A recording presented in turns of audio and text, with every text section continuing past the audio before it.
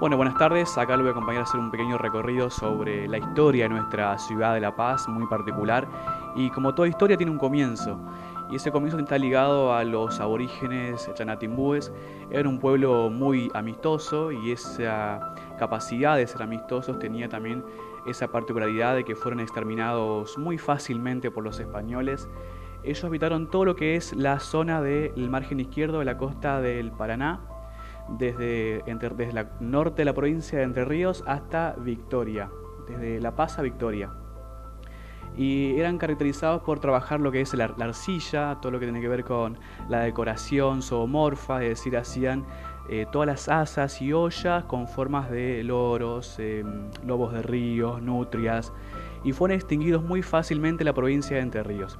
Esta zona, La Paz, estaba, tenía un asentamiento de chanatimbúes y obviamente con, después con la llegada de españoles fueron exterminados. Y el pueblo fue creciendo porque gracias a una, una condición, un accidente natural muy importante que es el río Paraná con el arroyo Caballúcuatiá. Caballúcuatiá es un vocablo guaranítico que significa caballo marcado, caballo blanco. Y se asentó las primeras poblaciones. Después, eh, hacendados de Santa Fe comenzaron a comprar terrenos y ahí se forma el pueblo y con el tiempo, en 1835, Pascual Echagüe funda la Villa La Paz eh, el 13 de julio de 1835. Y así fue como La Paz fue surgiendo como un pueblo principalmente portuario. La actividad portuaria fue la actividad más importante y así fue el progreso de nuestra ciudad.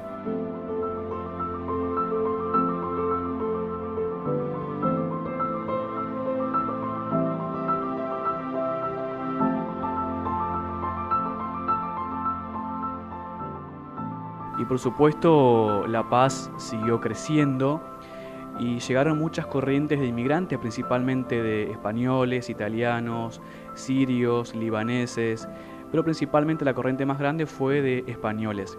Obviamente trajeron toda la cultura y la religión, las formas de trabajo, y la religión católica jugó un papel muy importante acá en la ciudad de La Paz, dado que el nombre La Paz refiere a uno de los santos de la religión católica. El nombre inicial nuestro, nuestra ciudad, era Caballucuatea, aparecían los planos inicialmente, porque La Paz era muy importante dado que era un enlace militar, correo, entre Buenos Aires y Asunción de Paraguay. Entonces fue muy importante la fundación de ciudades como La Paz y como Concordia, por ejemplo, ambas ciudades, eh, ambas cerca del río Uruguay, cerca del río Paraná, para marcar las fronteras cuando Urquiza y Rosas comenzaron a fundar pueblos, el sentido ese, que los españoles, los realistas, los brasileros no ingresen a la provincia de Entre Ríos a tomar parte territorio eh, nacional. En esa época apenas se estaba formando lo que es el país, el sentimiento nacional, entonces comenzaron muchas formación de pueblos, principalmente de la costa del Paraná, como lo es Paraná, La Paz, Victoria, y la parte del río Uruguay, Concordia, Gualeguaychú y Concepción de Uruguay, obviamente que fuera, era la meca de lo que tiene que ver con la historia argentina. Y acá un poco lo que representa esta sala es la religión católica, ¿no? Eh, ejercía en esos tiempos una especie de estado, se anotaban los bautismos y se registraban los nombres de los pobladores.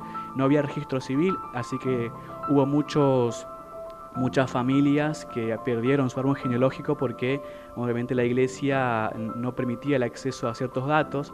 Así que la iglesia fue muy importante en la ciudad de La Paz.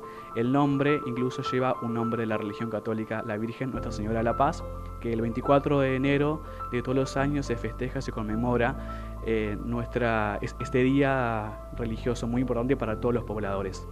Y La Paz fue creciendo eh, económicamente y en 1880 comienza el auge de importantísimo movimiento del puerto y ahí también comienza lo que es la etapa del frigorífico, de los puesteros en el, en el puerto.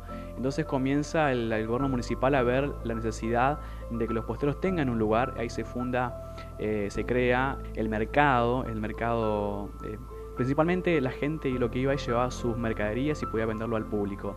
También había estudios de abogados, de contadores, eh, odontólogos. Y en esa época, 1880, comienza la verdadera el auge de los comercios en la ciudad de La Paz.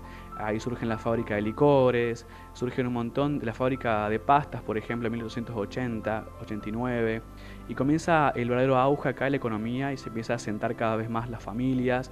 Entonces el gobierno ve la necesidad también de ver otras bajadas para el tema de buscar agua. El agua potable en ese tiempo era poco accesible. Los barcos dejaban mucha suciedad en el puerto, que era la única bajada directa que tenía la población. Así que después se crea eh, un lugar donde la gente pueda bajar y sacar agua.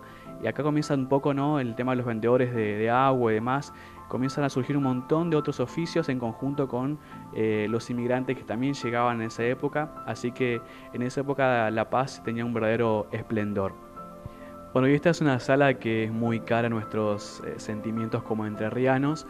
Esta sala refleja lo que eran las pulperías de la entrerrianía nuestra, donde se juntaban esos gauchos después de jornadas extensas de trabajo, donde surgían esas famosas peñas y se armaban eh, las famosas eh, los, los chamamés y demás. El chamamé que es un ritmo eh, acompasado, la chamarrita, ritmo de Portugal, pero que mezclado con nuestra cultura, nuestra enterranía, fueron haciéndose ritmos propios. Nuestro mayor exponente y el orgullo de ser nuestro, Linares Cardoso.